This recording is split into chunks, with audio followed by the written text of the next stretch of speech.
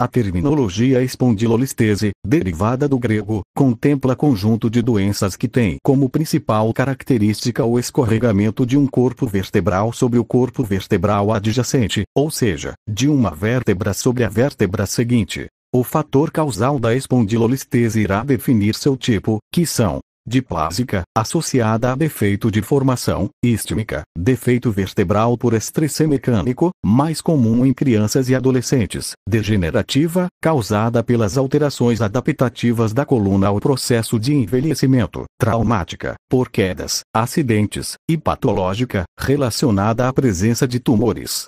Ela também pode ocorrer após procedimento cirúrgico da coluna, as causas mais comuns da espondilolistese observadas pelo médico ortopedista são a displásica, istmica e degenerativa. Menos frequentemente observadas, mas de igual importância, estão causas secundárias à doença tumoral, traumática e após procedimento cirúrgico. Devido à variedade dos fatores causais, os diferentes tipos de espondilolistese podem ter apresentações clínicas distintas.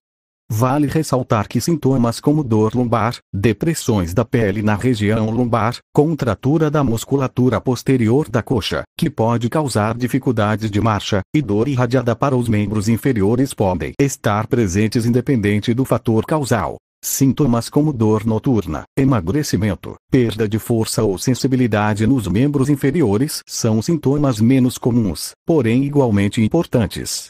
Os medicamentos utilizados para a espondilolistese são sintomáticos como analgésicos e anti-inflamatórios.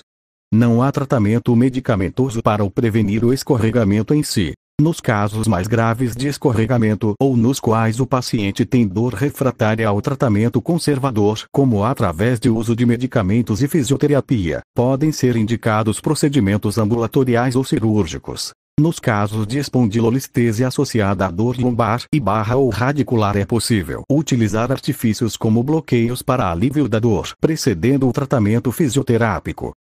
Caso vocês tenham alguma dúvida ou sugestão para novos vídeos deixem nos comentários, e não esqueçam de deixar seu like, se inscrevendo no canal, ativando o sininho de notificações e compartilhando com seus amigos para nos ajudar a manter nosso trabalho.